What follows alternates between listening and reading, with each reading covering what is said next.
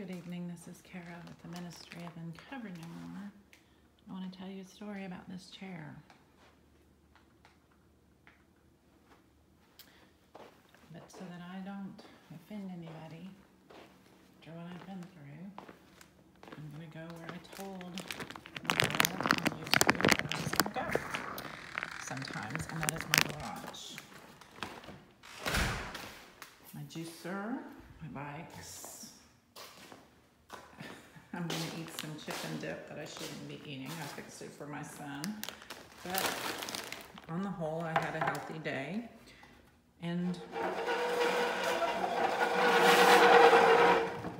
so let me sit here for a minute and tell you my story.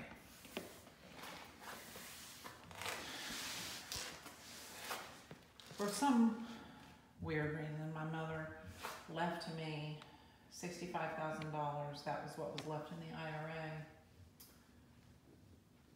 when I was disinherited. My life was torn apart. My entire family turned against me in all ways. And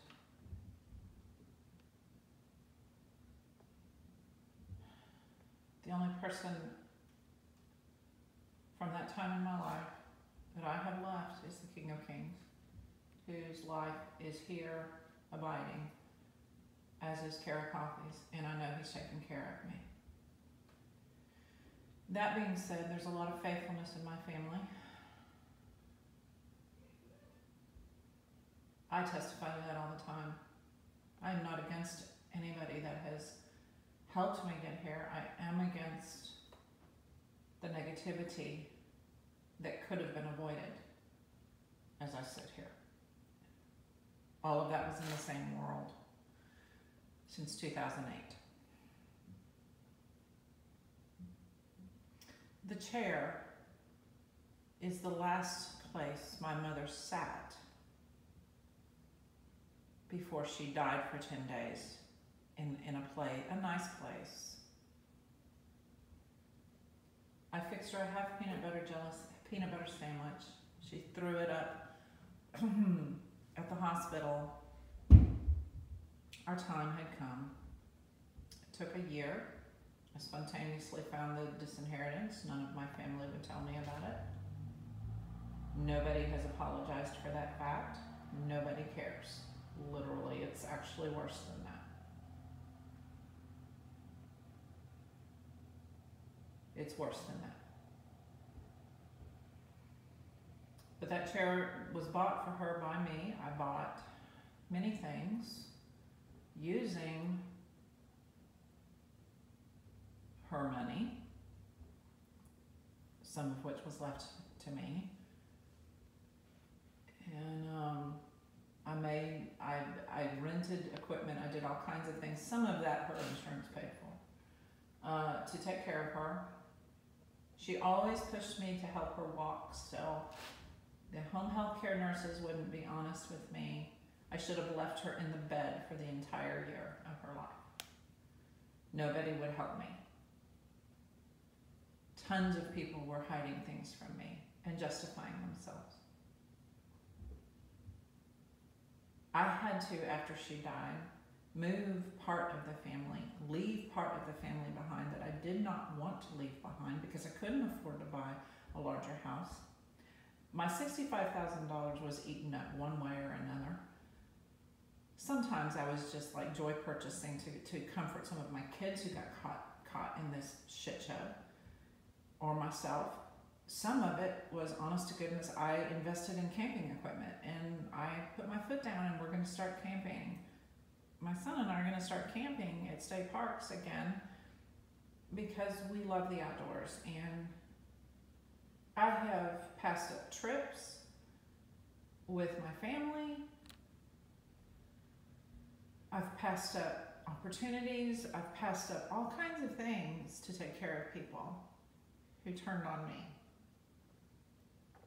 The chair was the last place my mother sat. And then we had, I had, I had to call firemen to transfer her and then to her bed. And then we had to call them back because she couldn't she couldn't function anymore, so I made the choice to take her to the hospital, and then I made the choice to take her to um, end of life care facility. Took her 10 days to die.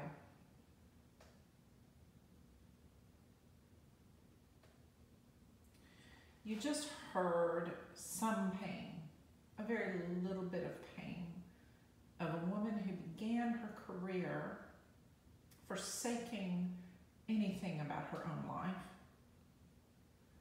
At the age of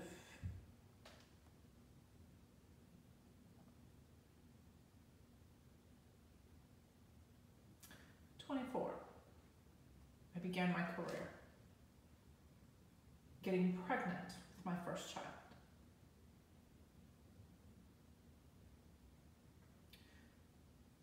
Who won't even speak to me and won't even admit I'm her mother on this earth now. Has disowned me. I am blamed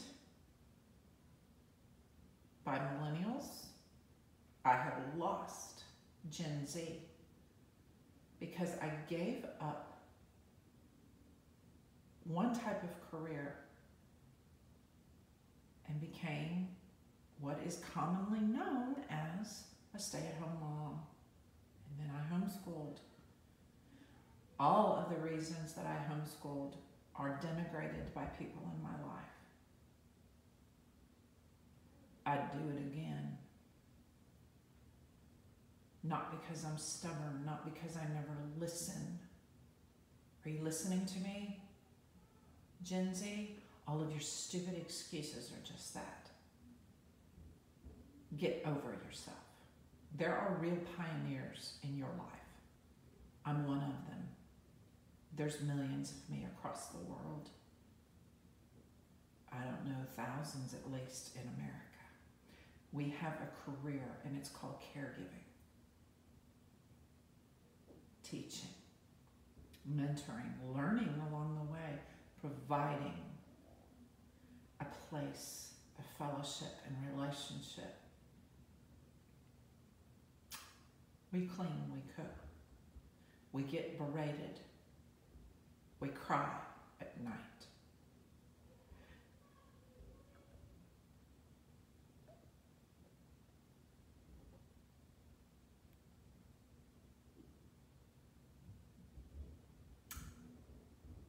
I am better solitary now, as is the King of Kings. We are both white skinned, but we could be any skin color. And this woman right here, tribe Judah, elect Gentile, could be speaking in any skin color to all generations across time. And I will tell you this I will come down to the point very quickly of a little over 200 year old country called the United States of America. United States is bullshit. America is America. It's a great country. It is the worst country. All at once, at times. Too many expectations are put upon us.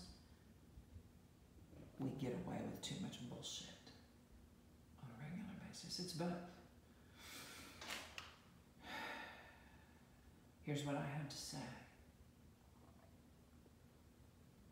When I went home to begin my real career without income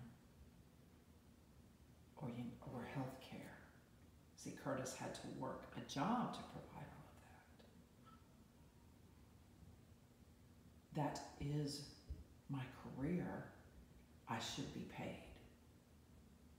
I should have health care for myself and any children I birth from their conception to their death and mine. Men should have it.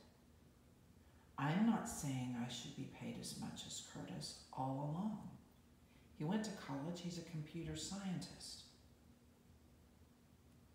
I would have been perfectly happy.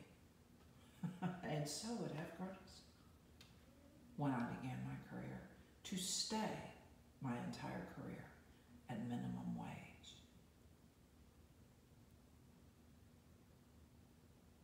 I have been denigrated by people way younger than me. It's not your money. It's not your money. It's dad's. Yes, that's been said to me over and over. By children who cannot help their society. Some of my children are ADD and ADHD. So you can go fuck yourself if you think that I blame them. I care about my whole family. I believe they care about me. I believe that we do not have much to do with one another socially right now because of the absolute and obvious World War III going on across nations and through social media and whatnot. Nobody understands truth anymore. I had a conversation with a gentleman who is a homeowner in this neighborhood. He walked his cat. He walks his cat. Baymax is much like that. Baymax has been trained to walk on a leash. I don't do it. Baymax comes with me in the yard, front and backyard, and fellowships with me in, in the garage here, and we had a lovely time. Today was not an outdoor day for me. I will close with some victory that I had today so that you don't think that I just stay in the judgment side of my life. As Cara and Vanny Coffey, that is the farthest thing from the truth that there is. I have people around me that I have to lift up and say, stop, come on, let's be thankful for what we do have and for where we are. The truth of the matter is, I should have been, I should have switched. There should have been paper paperwork to do at the moment that I let go of a job out there and came home to grow children, a home, a community with so many other people. I should have been paid and had universal health care. That's how far behind the United States of America is. Been at this 32 going on 33 years. So don't tell me what you think is good for this country. I will tell you what I should have had and will probably never have. So why do you keep going, Cara? That's none of your business, America. But I will tell you this. If my 13 year old son decides to marry a woman who decides to make her living at home, she needs to be paid. Like her mother in law wasn't. And all of the negativity that I just admitted needs to be apologized in real life action. Gen Millennial and Gen Z. Yes, I know your lives have been difficult too. But you have hit and hit and hit the caregivers in your midst on your way. And you don't acknowledge it. And that's a crime. It's a moral crime. And you're not taking care of it. And that perpetuation of cyclical ugliness continues. And um, I'm in a prison there that I refuse to stay in. I've already, you know, we're coming out okay, and I may get a part time job later to help us shore back up after the losses that we took for what happened to us. That's that is a possibility. And I continue to get up and be thankful, and that's what I will close with because here's the truth. For a time, because I was being persecuted so severely, I forgot my basics. I've been this way all my life, as a child even. as a child, as a 12 year old and a as a 14 year old, a 12 year old and a 14 year old, I was doing just what I'm about to tell you when my brother dropped dead. Two times. so, get up in the morning and you exercise.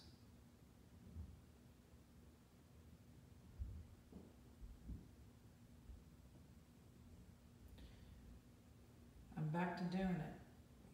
I'm 55. I had to take two naps today. I'm so out of it uh, physically and spiritually because of the persecution I experienced. It's getting less.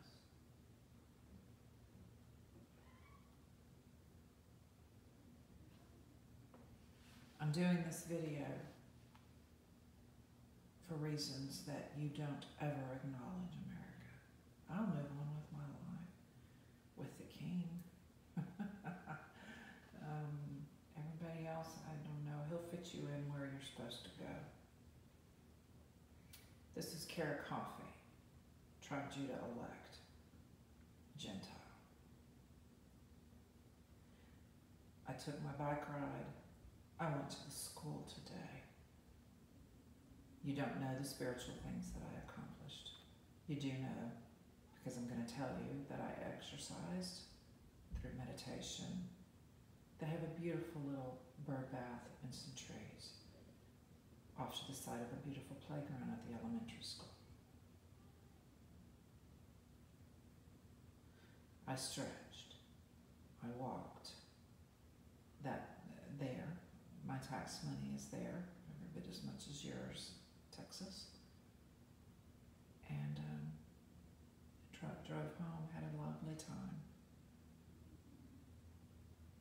Made a bunch of chicken broth for Curtis and I because we're getting older and our joints and everything. We're going to try to start drinking broth. Did not get to my juicing. Made granola. Spent some time with a couple of my teens. Privileged and enjoying my summer for the first time in a long time. You don't know what it is to go through an entire year of horror taking care of a mother who hated you actually, or she wouldn't have done that to you.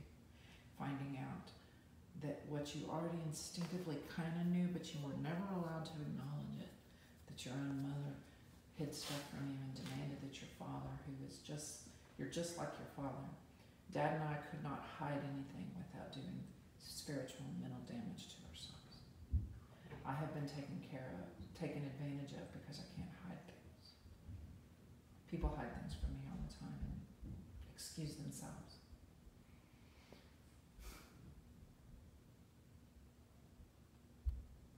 I have learned not to hide things, but to shut the door on those who want to continue to mistreat me.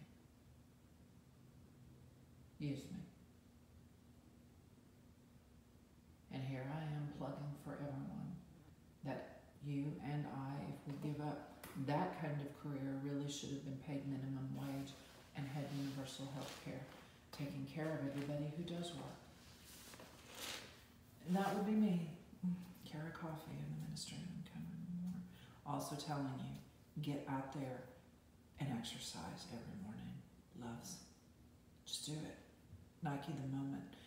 But I've been doing it for years thankful that I'm remembering myself after that much persecution since 2008.